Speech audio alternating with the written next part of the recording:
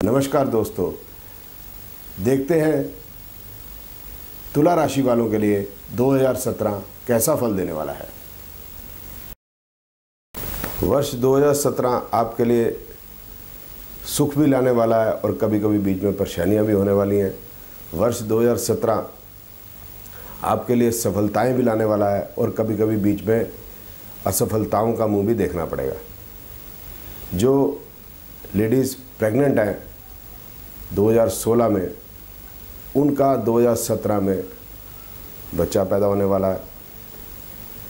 जो बच्चे चार साल के हो गए हैं, वो सभी बच्चे स्कूल जाने वाले हैं और जो दो साल के आसपास के बच्चे हैं, वो किंडर के अंदर एडमिशन लेने वाले हैं।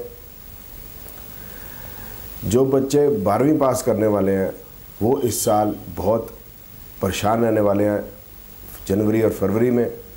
और मार्च में उन सबके एग्ज़ाम होने वाले हैं, जो लोग और जो बच्चे कंपटीशन एग्ज़ाम देने वाले हैं, उनके एग्ज़ाम अप्रैल, मई में होने वाले हैं। और कुछ उनमें सफलता प्राप्त करेंगे और ज़्यादातर असफल हो जाएँगे तो वो कैपिटेशन फ़ीस देकर आगे पढ़ाई कर सकते हैं और बीए बीकॉम या बीएससी में एडमिशन लेने वाले हैं। तो आपके जैसे नंबर होंगे, वैसे ही आपको कॉलेज में दाखला मिलेगा।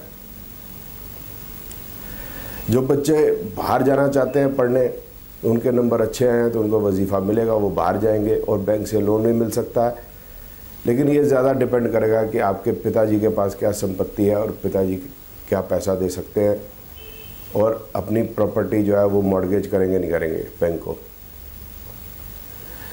जो लोग तेईस, चौबीस साल से सताईस अट्ठाईस, उनतीस साल तक के हैं, जिनकी विवाह नहीं हुआ, अधिकांश का विवाह इस साल हो जाएगा। जिनकी मैरिड लाइफ ठीक नहीं चल रही अधिकतर की मैरिड लाइफ वैसी ही चलने वाली है, ठीक नहीं चलेगी। और कुछ लोग डाइवोर्स का भी सोच सकते हैं। जिन लोगों की मैरिड लाइफ अच्छी चलती है, वो अच्छी चल रही है क्योंकि उनकी जन्मपत्री अच्छी है, ही तो उनकी अच्छी चलती रहेगी।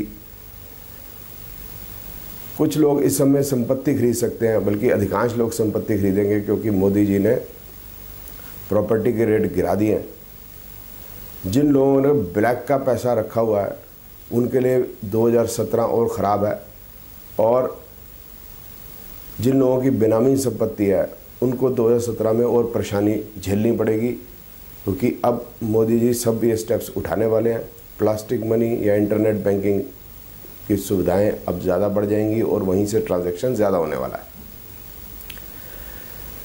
जो बड़े उम्र के लोग हैं, उनको हार्ट की डिज़ीज़ डायबिटीज़ ब्लड प्रेशर हो सकता है और बढ़ भी सकता है। जुलाई, अगस्त, सितंबर ये महीने जो हैं महामारी के रहेंगे। एमसीडी रहेगी इस बार भी। मलेरिया, चिकनगुनिया और डेंगू फरवरी, मार्च के दिन, फरवरी, मार्च के महीने में, इन दिनों में जो अस्थमा के पेशेंट्स हैं, उनके लिए समस्याएँ रहेंगी। अस्थमा बढ़ेगा। इस प्रकार से जो लोग लिटिगेशन में हैं, कोई ना कोई कानूनी कार्रवाई चल रही है। कोर्ट में तिथियाँ लगती रहेंगी, फैसले कम आने वाले हैं।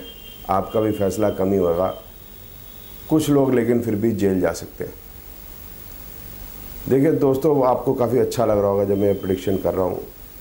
ये मैं इसलिए कह रहा हूँ क्योंकि आपकी राशि में 60 करोड़ लोग हैं और 60 करोड़ लोगों का एक ही भविष्य नहीं बताया जा सकता। और ये जब बात होती है कि 2017 का भविष्य 2018 का भविष्य ये सब भविष्य की जो बातें हैं, ये सब एक सेलिब्रेशन नहीं है और इससे अधिक कुछ नहीं है। 31 दिसंबर से पहली जनवरी हो जाएगी तो उससे क्या फ़र्क पड़ने वाला?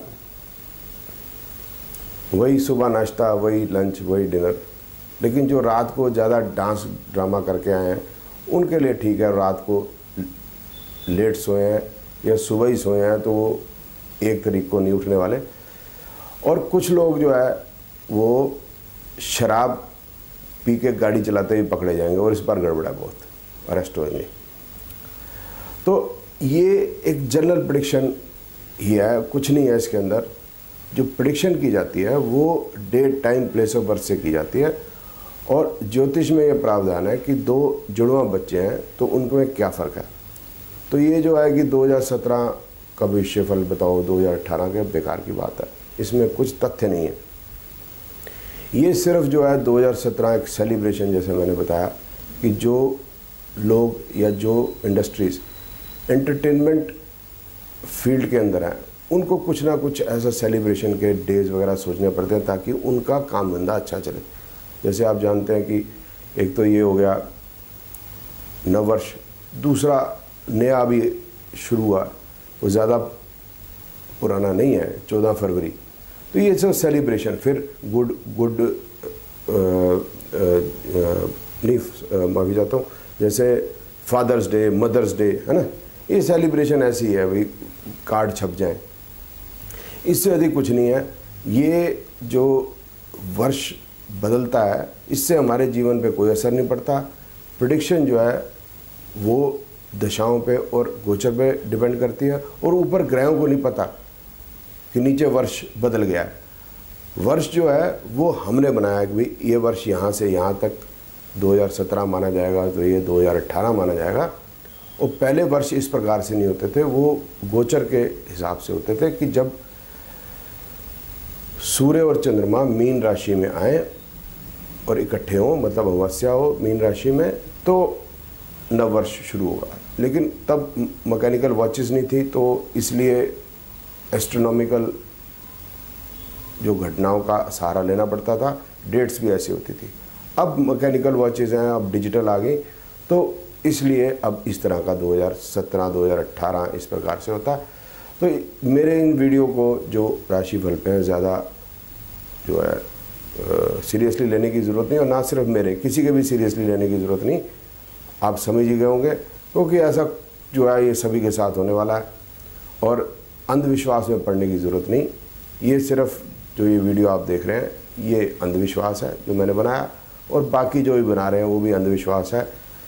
एस्ट्रोलॉजी का मतलब सीरियस प्रडिक्शन करनी, मैरिज के लिए, child birth, property, vehicle, health, travel, career, litigation यही है सब कुछ। लेकिन फिर भी इस आशा के साथ आपका 2017 अच्छा रहे। इस वीडियो को देखने के लिए बहुत बहुत आपका धन्यवाद।